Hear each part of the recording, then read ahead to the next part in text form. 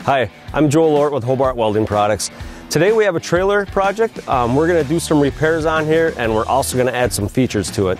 One of the first things I need to do is take the expanded metal on the ramp. It has broken away over the years and is falling apart. Um, we're going to cut this out with the plasma cutter. We'll cut a new piece with the plasma cutter, weld that in. Um, to help with that, um, we're also going to cut some angle iron. We're going to add some supports across here. I'll probably put three of them in. That'll help with the weight of the tire and then maybe this won't happen again in the future. Next thing we're going to do is up in the A-frame up front, there's a spare tire mounted there and it gets in the way when you make a sharp right hand turn. Uh, your bumper will touch it at times. So we're going to take and mount that back in this area. In order to do that, we're going to take our oxy-fuel setup, we're going to cut out some 3 8 inch plate and weld that plate, um, be about 4.5 inches wide. We're going to weld that um, to the frame here, top and bottom. And uh, where that bolts to the A-frame, we'll just move that back here, drill some holes, mount that in this area.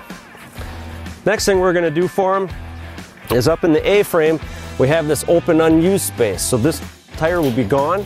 We're going to add some angle iron support in here. Then we're going to take the plasma cutter and we're going to cut an eighth inch plate, weld that in. He'll be able to mount a toolbox here.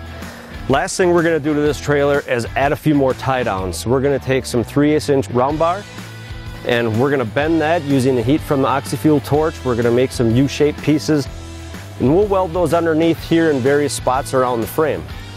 So um, that's will pretty much conclude what we're going to do here. Let's roll this thing in the shop and get started.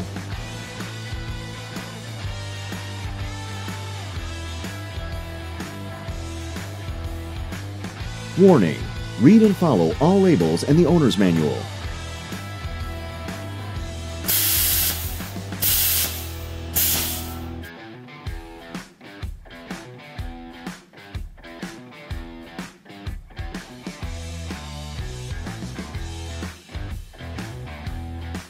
The bracing is on, so now it's time to move on to the next step of the project.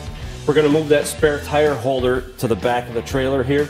Um, so what I need to do is cut a piece of plate for that, drill some holes in it that match the uh, spare tire holder where it's bolted on, and then we'll get that mounted back here.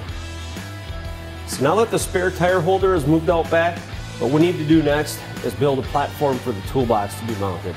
So what we're going to do is I'm going to cut two pieces of angle iron over on the bandsaw We'll run those parallel up front here and then cut a piece of eighth inch plate and we'll mount that.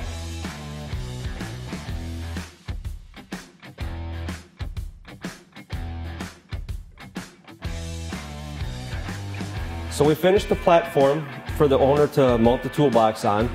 The last step for this project is going to be to make some loops for tie downs um, for the trailer here and we're going to make those out of 3 8 inch rebar We'll use an oxyacetylene torch to heat those up. We're going to wrap them around a pipe to make a nice loop. We'll cut them to length and then we're going to weld them underneath this angle iron top. So we finished welding on our extra tie down hooks and that completes this project. For more projects like this, continue watching our YouTube channel and hit subscribe.